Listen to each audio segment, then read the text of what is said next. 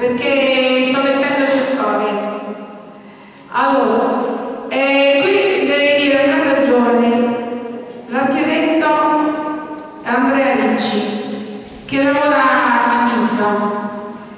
E l'ho conosciuto all'università popolare.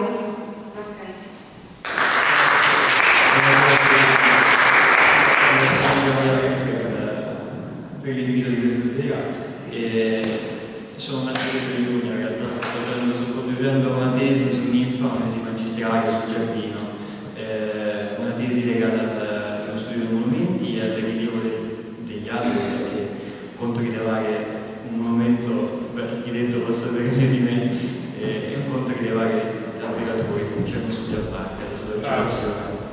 E niente, sono qui perché ho accettato l'invito di Angela e mm, ho preso come spunto eh, il tema, cioè mm, la farfalla che perché ecco, siamo a maggio è un simbolo del...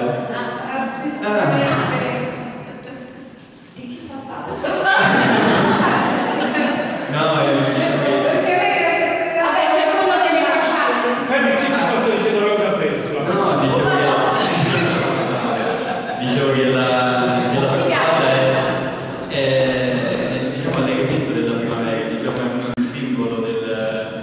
e quindi è- ho preso una, una poesia di Herman Hesse che si chiama eh, Farfalla azzurra e la volevo condividere con voi.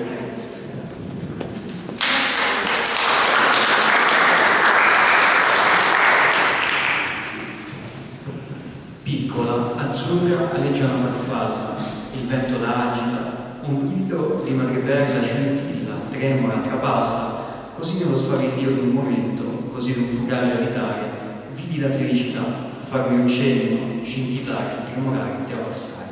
Questa è legata alla farfalla, però voglio legare in simbiosi anche ehm, quello che c'è nelle persone, insomma, legarla anche con una poesia di Dacia e di Alda Merini, eh, che le- lega la farfalla alla persona, insomma, alla, eh, alla donna.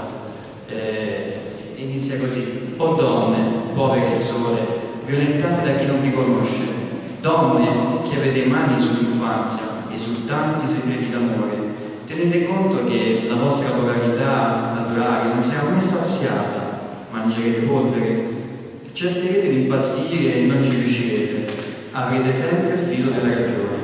Chi vi taglierà in due, ma da queste profonde ferite usciranno farfalle libere.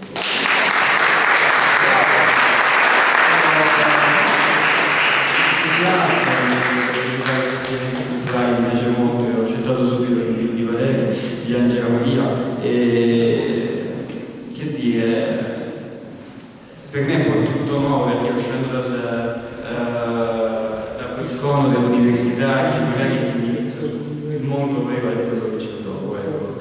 Eh, costruire e già partecipare a eventi culturali come questo per me è una eh, un'apertura di mente, chiamiamola così, eh, confrontarmi con molte persone e con molti esperti artisti come voi.